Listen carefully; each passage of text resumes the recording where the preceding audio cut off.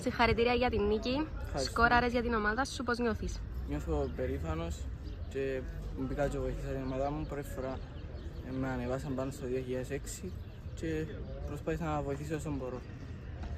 Είσαι ευχαριστημένος από το παιχνίδι; Ε, είμαι- είμαι ευχαριστημένος, αλλά πάντα έχει στάδια βελτίωσης. Μπορούσαν να βάλουμε κι άλλα γκολ. Αλλά εντάξει. Προσωπική σου στόχη; Ε, να παίξω σε πρώτες ομάδες, σε ψηλά επίπεδα, σε ψηλές κατηγορίες. Ναι. Θαυμάζεις κάποιον από την πρώτη κατηγορία; Το Λοΐζου, ένας καταπληκτικός ποδοσφαιριστής με εξαιρετικά προσόντα. Ευχαριστώ.